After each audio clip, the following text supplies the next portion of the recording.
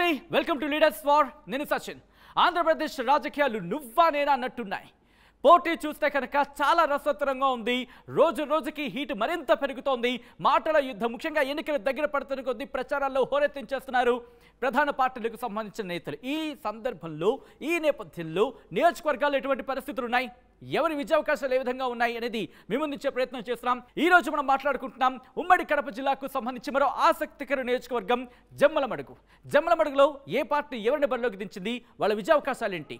చూసేద్దాం. ముందుగా వైసీపీ బరిలోకి దించింది మూలై సుధీర్ రెడ్డిని అలాగే భారతీయ జనతా పార్టీ బరిలోకి దించింది సి ఆదినారాయణ రెడ్డిని. వీళ్ళ ప్రొఫైల్స్ చూద్దాం ముందుగా. వైసీపీ బరిలోకి దించింది మూలే సుధీర్ రెడ్డిని. ఈయన ప్రొఫైల్ కనుక గమనిస్తే రెడ్డి సామాజిక వర్గానికి చెందిన నేత వృత్తిరీత్యా డాక్టర్. రెండు వేల పదహారులో వైసీపీ ద్వారా రాజకీయాల్లోకి ఎంట్రీ ఇచ్చారు ఈయన.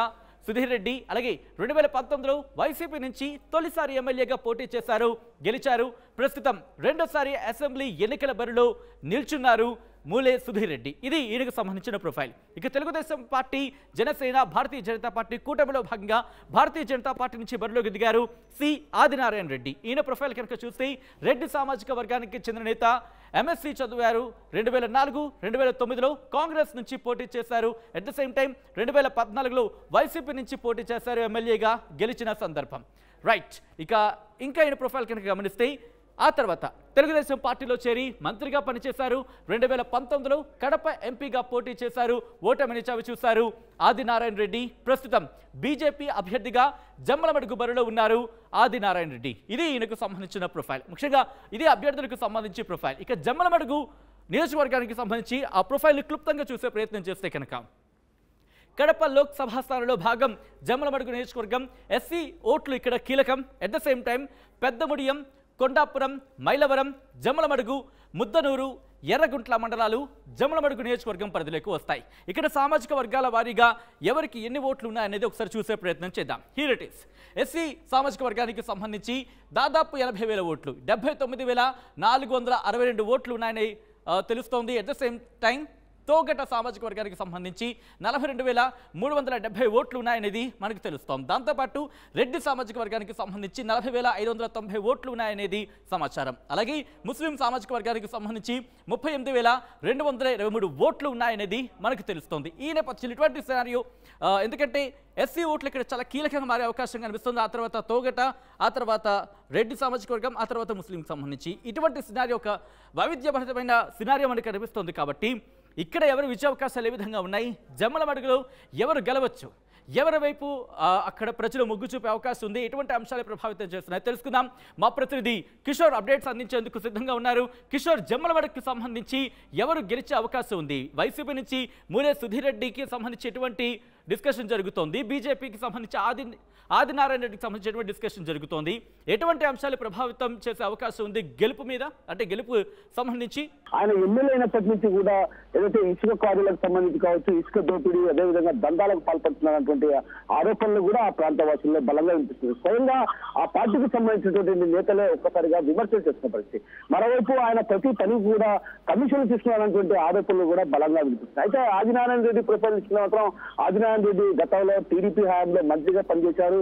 ఆ ప్రాంతంలో ఉన్నటువంటి ముంపువాసుల సమస్యలు పరిష్కరించడంతో పాటు వారికి పరిహారం అందించడంలో కూడా కీలక పాత్ర పోషించారు. మరోవైపు ఏదైతే ఫ్యాక్షన్ కోసం అటు దేవగుడి కుటుంబం ఒక రకంగా ఫ్యాక్షన్ వద్దు ప్రగతి ముద్ద అనేటువంటి భావంలో భాగంగా కూడా ఆయన ఆ, వర్గంతో కూడా ఒక రకంగా సరిహద్దు గురింది. అలాంటి పరిస్థితి నేపథ్యంలో అక్కడ ఎమ్మెల్యేగా గెలిచిన తర్వాత కూడా ఆయన మంత్రిగా కొనసాగుతూనే ఆయన పలు అభివృద్ధి కార్యక్రమాలు కూడా చేపట్టడం జరిగింది. ఒక రకంగా చూస్తే ఇప్పుడున్నటువంటి ప్రస్తుత ప్రభుత్వ హామీలో ఎలాంటి అభివృద్ధికి నేర్చుకునే పరిస్థితి ఉందన్నటువంటి భావన ఆ ప్రాంతవాసుల్లో ప్రధానంగా కనిపిస్తుంది.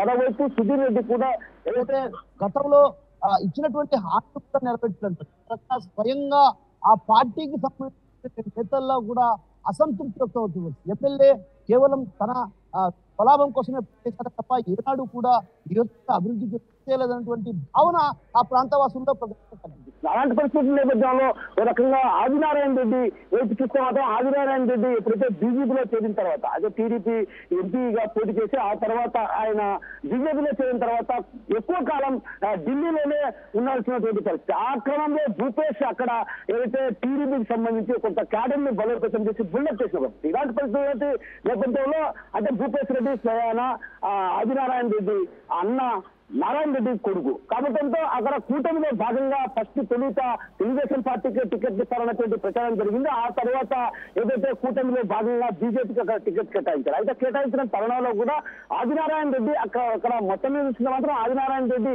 అభివృద్ధి గొప్ప స్థాయిలోనే చేశారని చెప్పవచ్చు అయితే ఆయన ఎక్కువ కాలం కార్యకర్తలకు అందుబాటులో లేరు. అదేవిధంగా నేతలకు అందుబాటులో లేరనేటువంటి విమర్శలు వస్తున్న పరిస్థితి ఇలాంటి పరిస్థితుల నేపథ్యంలో ఆయన మరోసారి ఎమ్మెల్యేగా పోటీ చేస్తున్నారు. ఆ పోటీ చేసిన తరుణంలో కూడా సుధీర్ రెడ్డికి ఏదైతే ఉన్నటువంటి చెడ్డ పేరు తనకు లాభిస్తున్న ఆయన ఆశిస్తుంటే ఖచ్చితంగా ఏదైతే ఆదినారాయణ రెడ్డి పోటీలో ఉన్నటువంటిది ఆదినారాయణ రెడ్డి ఆదినారాయణ రెడ్డి ఎప్పుడు కూడా కార్యకర్తలకు కానీ అటు నేతలకు కానీ అందుబాటులో లేరు. ఎప్పుడైతే బీజేపీ పార్టీలో చేరిన తర్వాత ఆయన పూర్తి స్థాయిలో ఢిల్లీలో మకాం వేశారన్నటువంటి ప్రచారం కూడా జరుగుతా సాగుతున్న తరుణంలో భావన ఆయన వ్యక్తం చేస్తుంది మొత్తం మీద చూస్తుంటే మాత్రం ఈసారి అక్కడ గట్టి పొట్టితే ఉంది. ఎవరు చేసినా కూడా తక్కువ మెజార్టీతో అతి మెజార్టీతో గెలిచే అవకాశాలు ఉన్నాయి sir. Right right Kishore thanks for update so మొత్తంగా అయితే మాత్రం జమ్మలమడికి సంబంధించి ఒక ఇంట్రెస్టింగ్ పోటీ అక్కడ జరగబోతోందా అంటే దాదాపు అవుననే మాట వినిపిస్తోంది. సో మరి జమ్మలమడి నుంచి ఎవరు జయకేతనం ఎగరేస్తారనే అంశానికి సంబంధించి జూన్ నాలుగున ఫలితాల రోజు తేలిపోతుంది.